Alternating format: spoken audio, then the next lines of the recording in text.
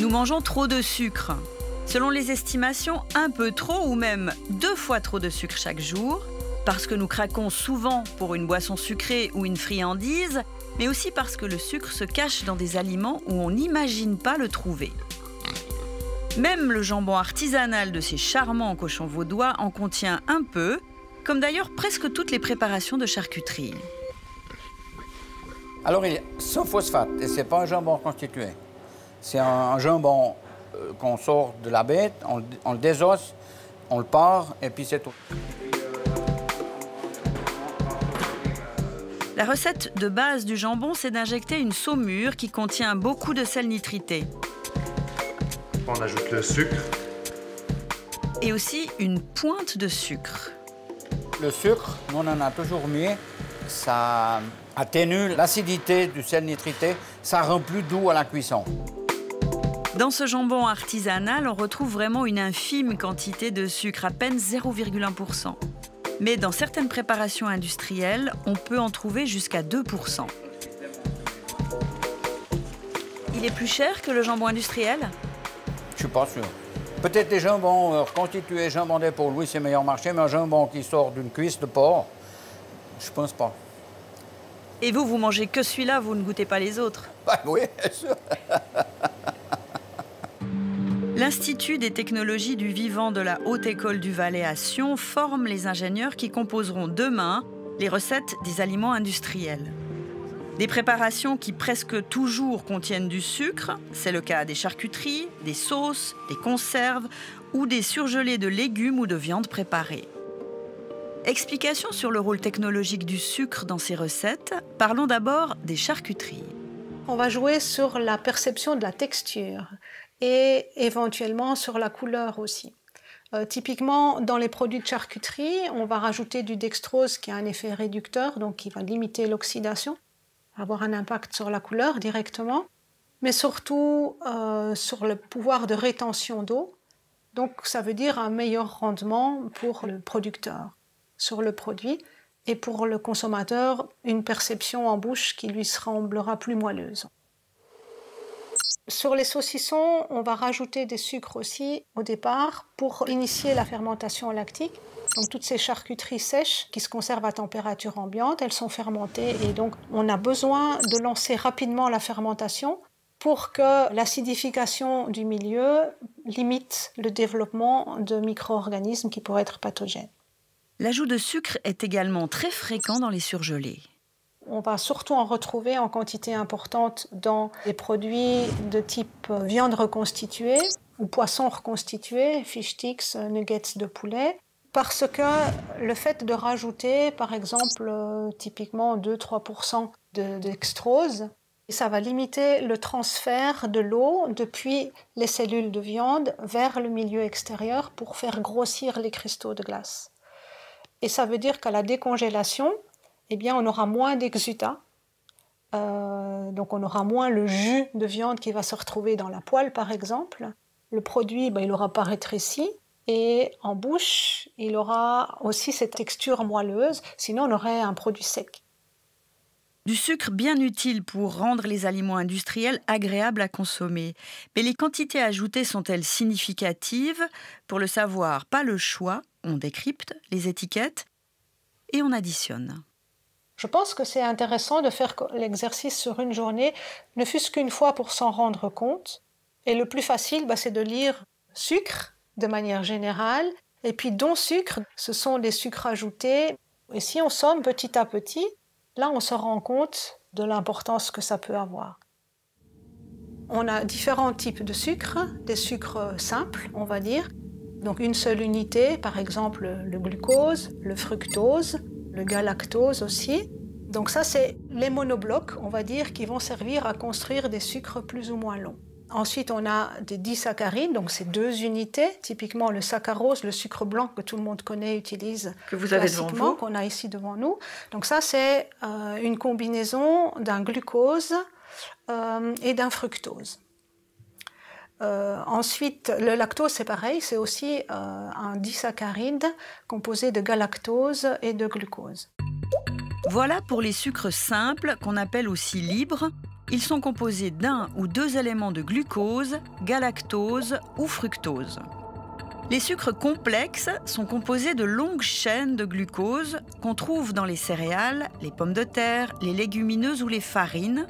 Leur assimilation par le corps est plus lente. Un sucre libre passe directement dans le sang tandis qu'un sucre complexe doit être découpé par la digestion pour être assimilé. C'est pourquoi on parlait autrefois de sucre lent et sucre rapide. Aujourd'hui, on préfère parler d'indice glycémique. Cette notion d'index glycémique permet de mesurer cette vitesse d'absorption. Donc c'est vraiment lié à la vitesse d'absorption de ces unités simples dans le sang. Et on va voir en fonction de ce type d'hydrate de carbone quel est son impact sur l'augmentation de la glycémie sanguine. L'indice glycémique d'un aliment mesure son effet sur la concentration de glucose dans le sang. Le glucose a un indice glycémique de 100, c'est le maximum. Jusqu'à 40, l'indice glycémique est faible. Par exemple, un avocat, c'est 10 et des pois chiches cuits, 33. Entre 40 et 60, l'indice glycémique est moyen. Une orange entière, 43, du pain complet, 55. À partir de 60, l'indice glycémique est élevé. Le jus pressé de l'orange de tout à l'heure, 60. Du pain blanc, 80. Des frites, 98. L'indice glycémique du même aliment varie selon qu'il est cru ou cuit, qu'il est entier, en compote ou en jus. Les aliments à fort indice glycémique favorisent la prise de poids et le diabète de type 2. On conseille donc de les éviter. De la théorie, on passe maintenant à la pratique. Nous avons décortiqué ce qu'il y a dans nos repas, du petit déjeuner jusqu'au souper, et c'est là que vous allez comprendre où se cachent tous ces sucres libres. Vous verrez aussi pourquoi les enfants sont particulièrement exposés à ce sucre. La Haute École de Santé de Genève forme les diététiciens et les nutritionnistes. Cette professeure a contribué à l'enquête nationale sur l'alimentation en Suisse appelée Menu CH. L'OMS recommande de consommer maximum 10% de l'apport énergétique euh, total sur la journée par des sucres, ce qu'on appelle les sucres libres. Concrètement, pour un adulte euh, qui consommerait 2000 calories euh, chaque jour, on a en fait une quantité de sucre recommandée de 50 grammes par jour, ce qui correspond à 12,5 morceaux de sucre. Et puis on a fait les calculs aussi pour des enfants. Alors pour un enfant de 4 ans, on arriverait à peu près à une recommandation de 8, 8 euh, morceaux de sucre, un tout petit peu plus par jour. Et puis pour un enfant de 10 ans, environ 11 morceaux de sucre. Aujourd'hui, en Suisse, on est à quelle consommation de sucre ajouté ou sucre libre? Moins de la moitié des adultes arrivent à respecter, si on veut, la recommandation de, de l'OMS. Nous avons composé les menus d'une journée type pour une famille qui n'a pas beaucoup de temps à consacrer à la cuisine, mais qui est attentive à l'équilibre alimentaire. Dans la famille, on mange des céréales, des légumes et des protéines à chaque repas. Premier exemple, le petit déjeuner souvent offert aux enfants. On a 30 grammes de céréales euh, chocolatées, euh, ce qui représente voilà, une, portion de, ce, type. Et puis une boisson euh, avec du, jus de fruits, mais finalement, quand on lit comme il faut la composition, on voit qu'il y a moitié jus de fruits et moitié eau sucrée. Là, en tout, on a l'équivalent de 4 morceaux de sucre et demi en termes de sucre libre toujours pour ces deux aliments. Pour un enfant de 4 ans, on visait euh, une consommation environ de 8 morceaux de sucre sur la journée et là, on a déjà un petit peu plus que 4. Donc, euh, du coup, si on complète, euh, admettons, par un, yogourt tel que celui-là, on rajoute encore 3 morceaux de sucre et puis on est à la quantité de sucre sur la journée pour un, jeune enfant hein, d'environ 4 ans. Et si on rajoute un petit goûter? Voilà, ici on a fait l'exemple avec une euh, barre de, céréales, mais qui est en fait, quand on lit la liste des ingrédients, relativement riche en sucre. Donc la barre contient l'équivalent de trois morceaux de sucre ajoutés et on obtient le maximum recommandé pour un enfant de 10 ans. On voit que la quantité de sucre libre recommandée est rapidement atteinte avec ces aliments très courants. On devrait donc être attentif à la composition des autres repas. Il reste beaucoup d'autres sortes d'aliments hein, à consommer, euh, des fruits euh, frais, euh, des fruits entiers, des légumes. Là, on n'a pas du tout parlé des aliments tels que les céréales, les féculents, le pain. On pourrait imaginer d'avoir une tranche de pain pour les 4 heures, par exemple. et puis également d'autres aliments comme des sources de protéines, des oléagineux, des noix, des noisettes. Tous ces aliments-là n'apporteraient pas de sucre s'ils sont consommés relativement bruts. Autre possibilité pour limiter le sucre ajouté, on opte pour un petit déjeuner à l'ancienne, tartine de pain complet à la confiture. Le pain complet, clairement, n'apporterait pas de, sucre libre. La confiture, bah, évidemment, ça dépend combien on en met, mais en général, on met une cuillère à café. Donc, on serait de toute manière euh, clairement en dessous en termes de, sucre, de sucre libre. Et puis, on aurait euh, aussi une satiété sûrement améliorée parce que, euh, surtout si on prend un pain complet, on aura des aliments qui nous tiendront mieux au ventre. Autre piège, les aliments très riches en sucre caché. Je peux penser peut-être à certaines sauces euh, comme le ketchup ou peut-être certaines sauces à salade où effectivement on trouve euh, du sucre et selon la, ça dépend aussi évidemment de la quantité qu'on consomme, euh, mais on peut avoir l'apport d'environ un morceau de sucre dans une portion, une bonne portion de ketchup ou une bonne portion de sauce à salade style balsamique par exemple. Le meilleur moyen, c'est de lire la liste des ingrédients et de voir un petit peu s'il y en a, à quelle position ils se situent dans la liste, puisque les ingrédients sont indiqués par ordre décroissant. Donc plus c'est tôt dans la liste des ingrédients, plus l'ingrédient est en quantité importante. Quatre familles de produits apportent l'essentiel des sucres ajoutés que nous consommons chaque jour. Dans l'ordre, ce sont les sucreries, les boissons sucrées, les produits laitiers et les céréales du petit déjeuner. En 2015, Alain Berset a négocié avec l'industrie un plan de réduction volontaire de la teneur en sucre, des yogourts aromatisés et des céréales. C'est la déclaration de Milan, dont Nestlé est un des premiers signataires.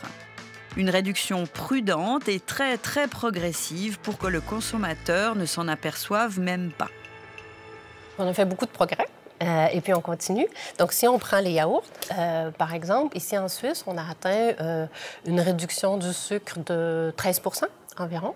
Et puis, on a l'intention de continuer justement jusqu'en 2024. On a l'engagement de réduire de 10 supplémentaire. Il faut que le consommateur soit habitué au, au produit, donc qu'il accepte le nouveau produit. donc, si on regarde, on peut réduire le sucre. au niveau, par exemple, des yaourts, on peut soit choisir un produit avec moins de sucre, par exemple ceux qu'on a déjà réduit le sucre. On peut aller jusqu'à choisir un produit qui est complètement sans sucre, euh, par exemple un produit euh, nature. Ou on peut choisir aussi un produit entre les deux qui va quand même satisfaire le goût du consommateur, l'habituer progressivement à un goût moins sucré en choisissant par exemple un produit avec euh, un édulcorant. L'industrie alimentaire a tout d'abord combattu l'introduction du Nutri-Score sur ses produits. Mais aujourd'hui, Nestlé en fait un argument de vente. Et bizarrement, les céréales qui contiennent 24,9 g de sucre au 100 g, soit plus de 6 morceaux, affichent le Nutri-Score B d'un aliment sain. Si on prend par exemple Nesquik, qui est euh, un préféré des, enfants et des adolescents, on est parti en 2000, dans les années 2000 d'un Nutri-Score D à aujourd'hui un Nutri-Score B. Et euh, cet été, les gens auront accès à, euh, les gens suisses auront accès à un Nutri-Score A. Donc, on voit vraiment qu'on s'est engagé dans un processus d'amélioration continue de nos euh, produits, non seulement en réduisant le sucre, mais aussi en réduisant le sel, les matières grasses et en ajoutant des, nutriments positifs, comme par exemple les fibres qu'on a augmentées substantiellement dans les céréales. Je suis un peu mitigée concernant le Nutri-Score. Ça donne des informations grossières, mais grossières. Donc c'était un indicateur, hein, mais euh, pour moi pas suffisant. Donc c'est bien, je pense, de former le consommateur à pouvoir lire ces étiquettes qui sont pas si compliquées que ça, elles sont faites à son intention. Donc quand on lit glucides ou hydrates de carbone, dont sucre, voilà, je pense que c'est relativement facile après de se faire la part des choses. Aline Raé, dans la région de Clermont-Ferrand, un chercheur est encore plus critique à l'égard du Nutri-Score qui, selon lui, favorise les aliments industriels ultra transformés. quand vous consommez du sucre, par exemple le lactose du lait ou le sucre des fruits, bah, vous consommez pas que du sucre, vous consommez des minéraux, des fibres, des vitamines, et puis euh, vous mastiquez l'aliment. Et la mastication provoque la satiété, la satiété provoque la régulation de la prise alimentaire, et c'est très très important dans l'acte alimentaire. Alors que si vous avez un sucre qui est, qui est purifié, extrait et rajouté après, vous n'avez plus tous ces effets. Donc c'est pour ça que c'est important d'avoir une approche que moi je qualifie d'holistique ou globale de l'aliment. Il ne faut pas raisonner que sur le sucre, mais dans quel environnement il est. Ce matin au petit déjeuner, j'ai pris un yaourt nature avec un abricot que j'ai coupé en morceaux dedans. Quelle est la différence entre ça et puis un yaourt aromatisé à l'abricot? Bah, Dans le yaourt aromatisé à l'abricot, vous allez sans doute avoir du sucre ajouté déjà. Euh, l'arôme d'abricot, bah, ça n'a rien à voir avec des vrais abricots. On est typiquement dans le marqueur d'ultra-transformation, c'est-à-dire une molécule qui a été soit obtenue par synthèse chimique ou purifiée et extraite d'un aliment par cracking. Donc, c'est des molécules qui ne sont plus accompagnées par rien d'autre. C'est de là que vient le mot ultra, c'est-à-dire qu'on a été tellement loin qu'il n'y a plus de matrice. Ces sucres privés de matrice sont utilisés dans l'industrie alimentaire, mais ils sont absents de nos cuisines. D'ailleurs, leurs noms bizarres ne font pas penser à des sucres.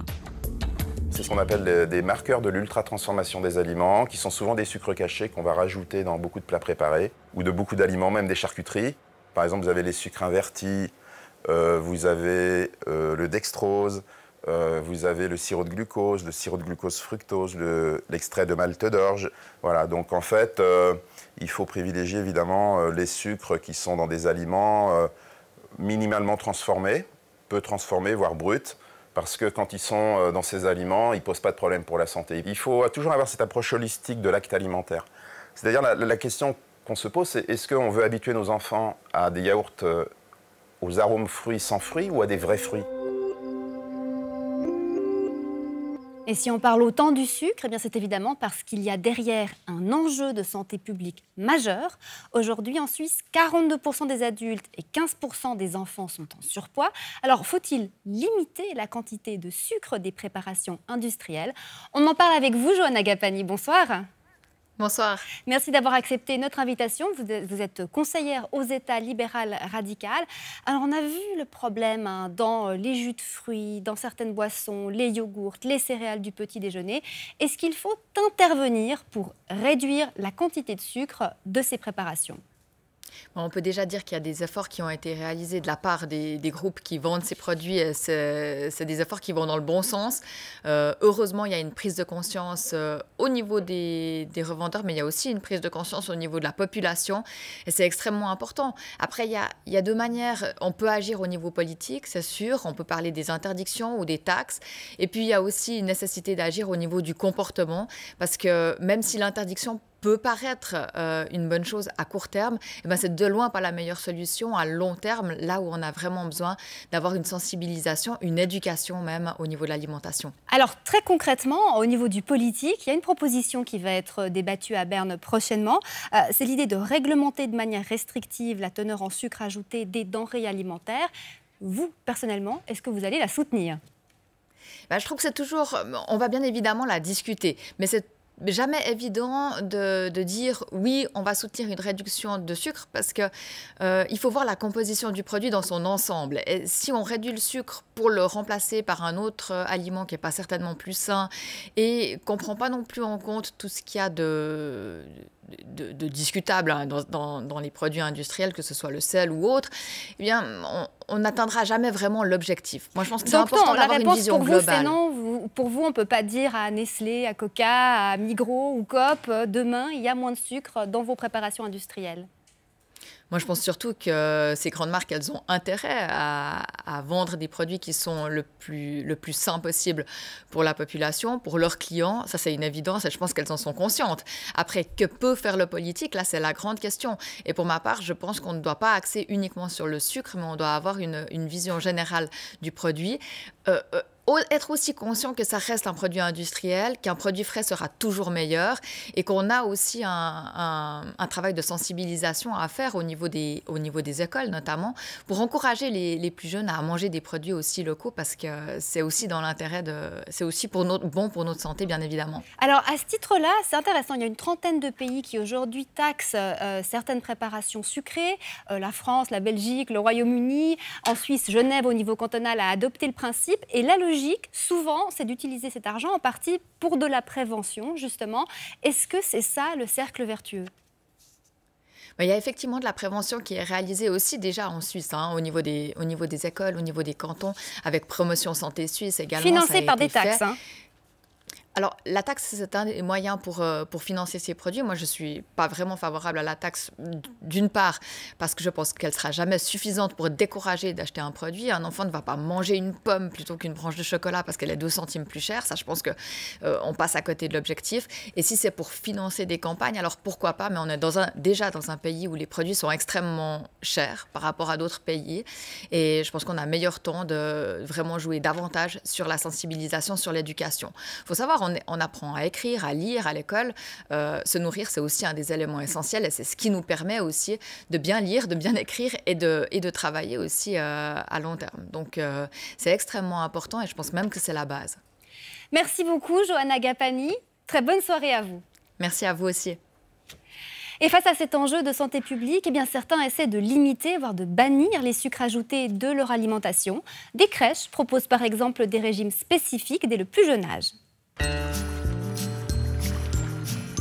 Vivre sans sucre, c'est impensable pour la plupart d'entre nous. Pourtant, de plus en plus de personnes choisissent de limiter drastiquement leur consommation de sucre au quotidien.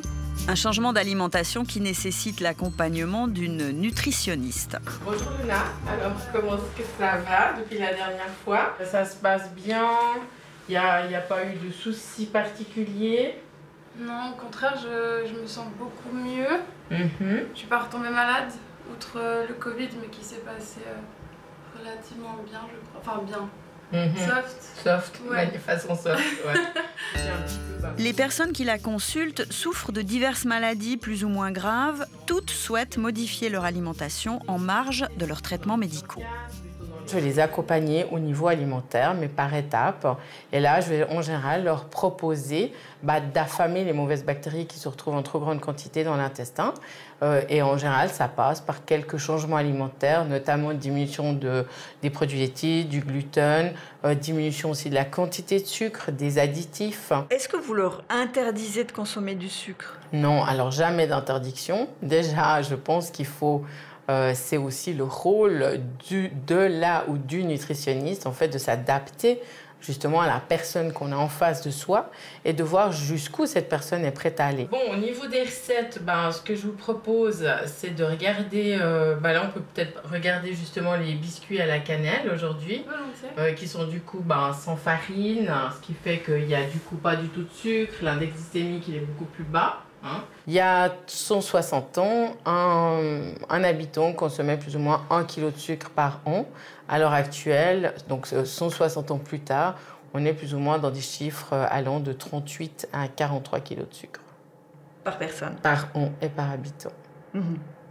Donc effectivement, euh, j'ai envie de dire, notre pancréas à l'époque, bah, c'était un petit peu le Club Med pour lui. Aujourd'hui, c'est les travaux forcés. D'où aussi l'émergence de diabète de type 2.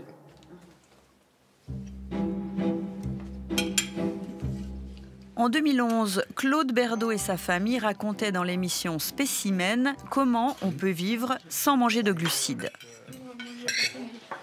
Quand j'ai été en camp, bah, au début de sixième année, euh, il y avait quand même, enfin, on était deux classes, et puis euh, il y avait des gens des autres classes qui euh, voyaient mon assiette et puis ils disaient Oh, tu manges des croquettes pour chien ou comme ça, et puis ça, ça me faisait pas vraiment plaisir. Dix ans plus tard, au retour de son examen universitaire, Cory Berdo se prépare un encas. Et aujourd'hui encore, c'est sans sucre. Ici, on a un espèce de flan pudding euh, aux graines de chia et au son d'avoine. Et dedans, j'ai mis un petit peu de beurre d'amande et puis quelques noix de macadamia et un petit peu de chocolat pour euh, la gourmandise. Quand j'étais petite, j'avais beaucoup de problèmes de santé. Euh, j'étais constamment malade, je vomissais tout le temps et je toussais tout le temps. Euh, je loupais l'école un jour sur deux et maintenant bah, je me sens beaucoup plus concentrée. Ça c'est vraiment un changement fort que je vois. Puis ensuite, bah, je suis quand même humaine. Hein, quand euh, une fois de temps en temps, j'ai un anniversaire avec euh, tous mes amis. Bah voilà, je vais prendre part de gâteau et puis, puis voilà. Pas si facile de réduire sa consommation de sucre quand on est adulte et qu'on a des habitudes alimentaires très ancrées. Raison pour laquelle de plus en plus souvent, on est attentif à former le goût des enfants dès leur plus jeune âge.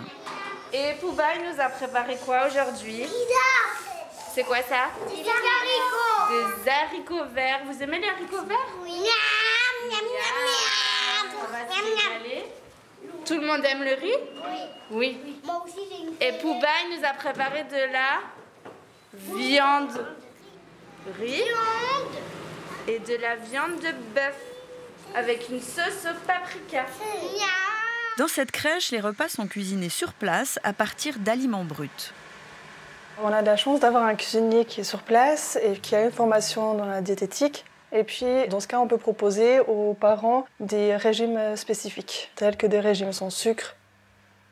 Déjà, on fait extrêmement attention pour les, petits déjeuners. On va plutôt se diriger vers des flocons d'avoine, euh, des céréales sans sucre, euh, voilà, des choses un peu plus naturelles avec euh, un yogourt nature, quelque chose comme ça.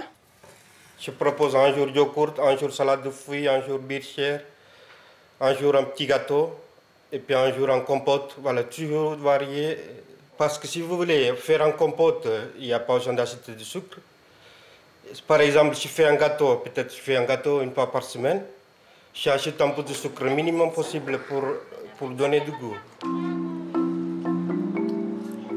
Au moment du repas, chez les grands, c'est un succès. Mais chez les bébés nettement moins, il faudra du temps pour s'habituer au goût des haricots verts. L'OMS recommande une alimentation basée sur l'allaitement jusqu'à un an, tout en introduisant progressivement des aliments diversifiés sans sucre ni sel ajouté.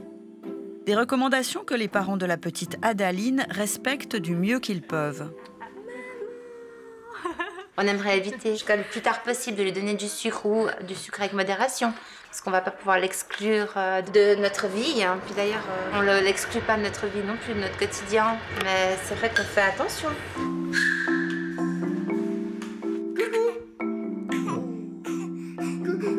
On aime bien lui préparer nous à manger pour qu'on sache ce qu'il y a dedans et puis euh, voilà, qu'on puisse au maximum surveiller entre guillemets les aliments auxquels elle, touche. Hein. elle a l'air de préférer ses jouets. Ça les aime bien en tout cas. C'est le lait maternel qui prédispose le bébé humain au goût sucré et manifestement, Adaline préfère sa compote fraise poire ou haricots verts de son repas de midi. Bon, hein c'est bizarre. C'est bizarre. Hmm. Encore Voilà, vous êtes informés, à vous de choisir. Pour une prochaine émission, ABE recherche des témoignages du côté de Genève et de Martigny. Vous êtes à la recherche d'une location, vous avez galéré ou au contraire trouvé facilement le logement de vos rêves, votre histoire nous intéresse, écrivez-nous abe.rts.ch. L'actualité conso maintenant, elle a fait une petite pause pendant l'été, mais elle est de retour avec vous, Viviane Gabriel. Bonsoir. Bonsoir. Et ce soir, au programme, une lampe contre le coronavirus, une ampoule contre le coronavirus, un réhausseur tout à fait hors de prix, et puis, pour commencer, des données de vaccination numérique impossible à récupérer. Oui, envoler les espoirs des débuts, ceux d'un carnet euh, de vaccination électronique suisse sûr, pratique et durable, hein, comme on le voit sur cet ancien dépliant. Le temps n'a pas donné raison à mesvaccins.ch, la fondation qui gérait depuis euh, une dizaine d'années euh, ce carnet de vaccination électronique, a annoncé la semaine passée sa liquidation. Ouais, ça c'est le dernier épisode d'un scandale révélé au mois de mars déjà par le site alémanique république.ch. Oui, il avait révélé de graves lacunes de sécurité dans la gestion des données. Et depuis, c'est le flou, c'est l'incertitude pour les utilisateurs. Vont-ils récupérer leurs données? Euh, C'est une question qui se pose pour 120 000 personnes, rien qu'en Suisse romande, hein, qui ont donc leurs données euh, sur ce site mesvaccins.ch, à l'instar d'un téléspectateur qui nous a contacté. Il est utilisateur de la première heure. Depuis l'annonce de la fermeture de l'application mesvaccins.ch, je n'ai plus accès à la liste de mes vaccins et la Fondation stoppe toutes ses activités opérationnelles sans restituer les données à ses patients. C'est un véritable scandale. J'estime que l'OFSP doit prendre ses responsabilités et exiger que la Fondation mesvaccins.ch restitue les données des patients au minimum sous la forme d'un fichier PDF imprimable. Alors sa colère est partagée par la SKS, euh, la Fondation des consommateurs alémaniques, la SKS qui envisage des mesures politiques et même au niveau de la justice. Viviane, que répondent les responsables de mesvaccins.ch Alors ils se veulent rassurants, hein. les données sont sécurisées, euh, nous écrivent-ils. Pour ce qui est de les restituer, la Fondation aurait envisagé plusieurs solutions, mais elle n'a malheureusement plus les moyens de les réaliser. Fin de citation. Les dernières ressources ont été utilisées ces dernières semaines pour rendre manuellement leurs données à 3000 personnes. Oui, ben ça, c'est pas très rassurant. Euh, du coup, c'est l'autorité fédérale de surveillance des fondations qui a repris le dossier en main avec l'Office fédéral de la santé publique et puis avec le préposé fédéral à la protection des données. Et puis, bon, c'est le retour de votre petit panier. Petit, petit, je ne sais pas vraiment cette De votre panier, en tout cas, avec une ampoule. On commence dans le petit, Biovitae, la lumière qui vous protège. Et la lampe, si vous voulez euh, l'essayer. Magnifique. Donc, il s'agit, selon euh, le fabricant, de la première ampoule microbicide brevetée. Ça veut dire qu'elle élimine les virus, les bactéries, les pollens, les spores, les moisissures et les acariens. Bon, alors, en tout cas, elle fait de la lumière, c'est déjà ça.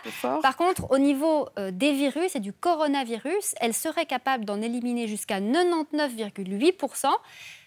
Personnellement, je suis un tout petit peu sceptique. C'est quoi le principe? Ça fonctionne grâce à une combinaison de fréquences lumineuses.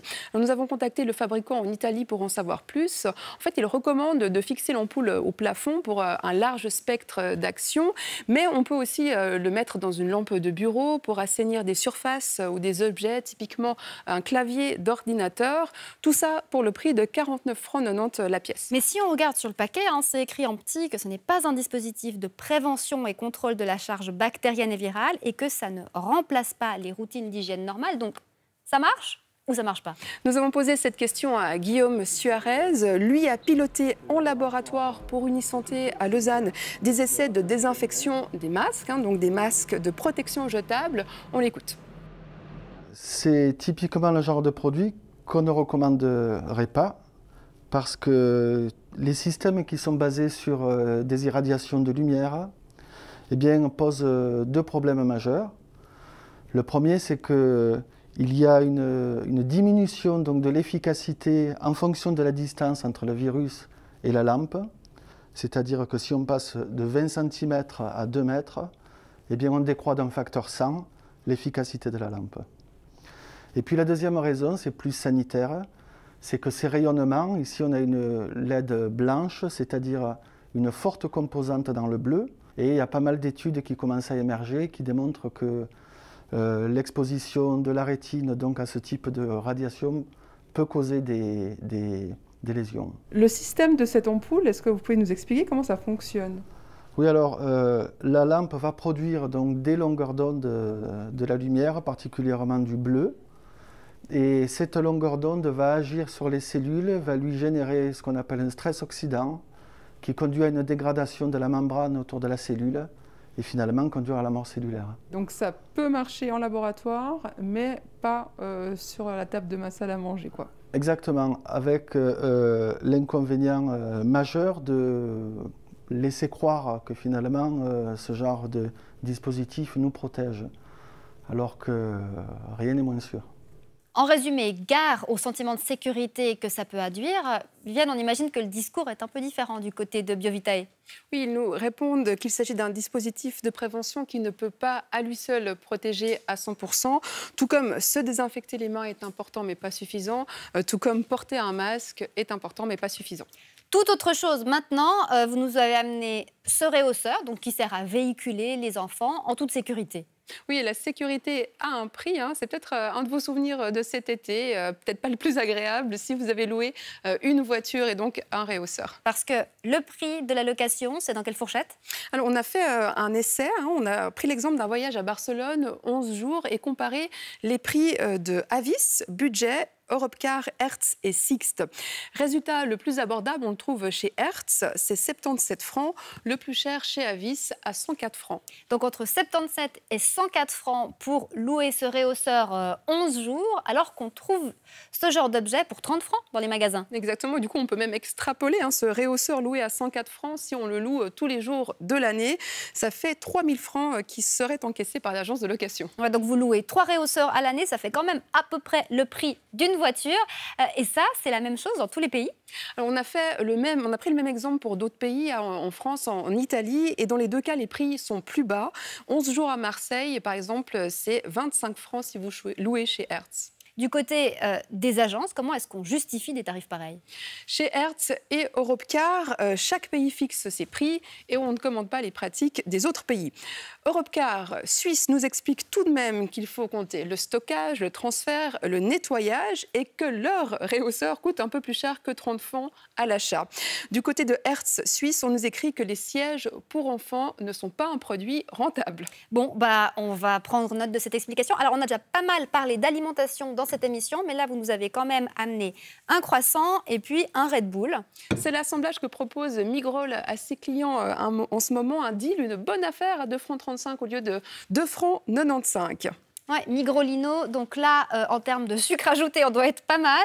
Euh, en termes de graisse aussi, à mon avis. Pourquoi une offre pareille? Pour répondre à la demande et aux habitudes des clients, nous dit euh, Migrolino, qui précise quand même qu'il y a d'autres offres cette année. Et euh, diététiquement parlant, euh, Migrolino a même fait des progrès. Regardez ah cette pub qui date du mois d'août 2019. Oui, donc il y a déjà le Red Bull. Et puis il y a un croissant, effectivement, cette fois un croissant avec une branche de chocolat. Et on peut difficilement faire pire pour commencer la journée, hein, selon la diététicienne Stéphanie Bonwin. Deux ans plus tard, euh, Migrolino fait donc un petit peu mieux en enlevant la branche de choc. Rendez-vous dans deux ans pour voir s'il continue sur cette lancée. vous allez voir, ils vont finir avec un Nutri-Score à Migrolino. Merci beaucoup Viviane, très bonne soirée à vous. Bonne soirée. Un virement bancaire par Internet, une erreur de numéro de référence et un paiement qui se volatilise. C'est l'histoire surprenante arrivée à l'une de nos téléspectatrices. Récit de cette mésaventure avec François Janet. Elle connaît la musique, Marianne Burkelter. Elle qui a travaillé de nombreuses années dans l'administration, notamment chargée de verser les salaires. Les transactions numériques, elle a l'habitude. Ça n'a pas empêché pour autant une mésaventure qu'elle a tenu à nous raconter. J'ai payé un abonnement à la feuille des avis officiels de 89 francs et puis j'ai reçu un rappel que ces 89 francs n'avaient pas été payés. Donc j'ai vérifié mon compte en banque et je me suis aperçue que le paiement que j'avais fait était bien parti. Donc le rappel qu'il m'avait envoyé était une erreur et nous avons eu des échanges de mails avec la feuille des avis officiels pour arriver à la conclusion que l'argent n'est effectivement pas arrivé chez eux. Pour effectuer ce paiement qui concernait un destinataire à la banque cantonale vaudoise, Marianne Burkhalter est passée par le e-banking de sa banque. Elle a donc contacté l'UBS pour savoir où avait disparu son argent. L'UBS me dit que j'aurais la possibilité de faire une demande de rapatriement de mon paiement et puis que c'était un service payant et vu le petit montant de la facture payée, que j'avais tout intérêt à repayer cette facture et puis que voilà, que c'était une erreur qui pouvait se passer. Et alors là, ben, j'étais pas du tout d'accord avec ça. Euh, je leur ai dit non, mais ça c'est juste pas possible. Euh, j'ai payé les 89 francs, j'ai une preuve qu'ils ont été payés.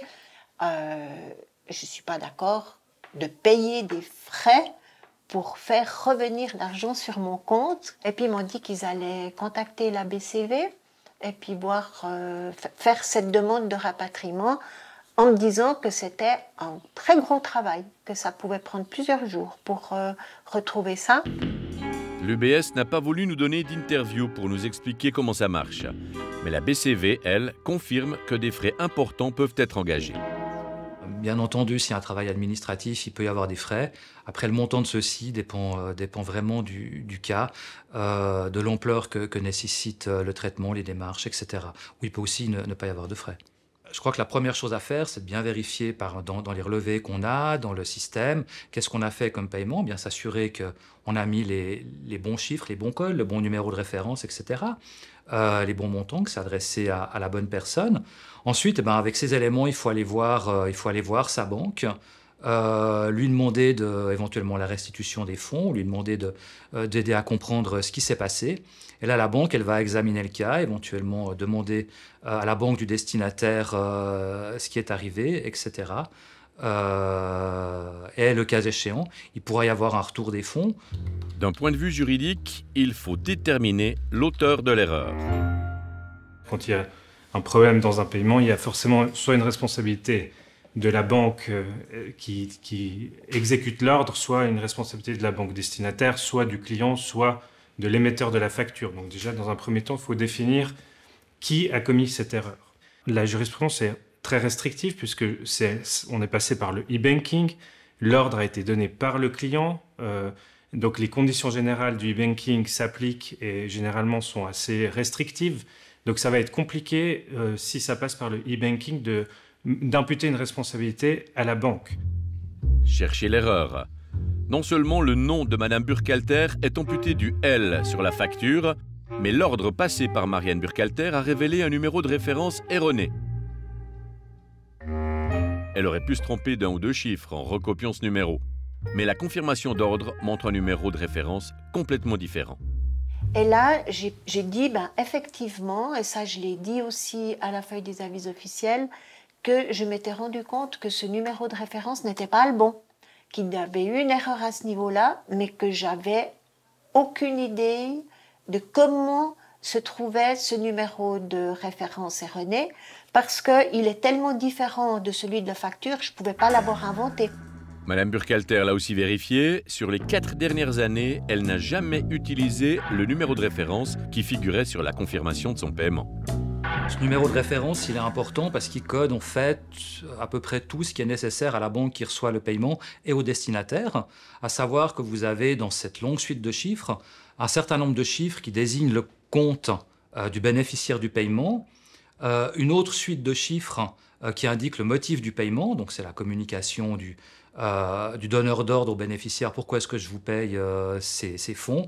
Et il y a aussi un chiffre qui sert de, contrôle, c'est-à-dire que si vous changez au hasard euh, un chiffre ou un autre, le système il va faire un petit calcul un peu savant, et puis il va dire ah non c'est pas cohérent, donc ce code erroné n'est pas valable. à l'inverse, si le code est valable, eh bien il, est, il va servir à exécuter le paiement. Si un paiement aboutit sur un compte par erreur, il est impossible d'en connaître le titulaire, secret bancaire oblige. Le titulaire du compte peut en effet faire la sourde oreille. Là, vous n'avez pas vous-même, en tant que récipiendaire, une obligation d'informer votre banque ou d'informer la personne qui vous a versé les fonds. Je peux refuser de le restituer? Légalement, vous avez l'obligation de le restituer, mais il faut bien voir que la personne devra agir en justice pour vous ordonner la restitution. Vous n'aurez pas, s'il n'y a pas d'injonction judiciaire, d'obligation euh, pénale, par exemple, de euh, le restituer. Heureusement pour Madame Burkhalter, l'histoire s'est bien terminée. Ces 89 francs ont été restitués, sans frais, même s'il n'a pas été possible d'établir clairement où l'erreur s'est produite.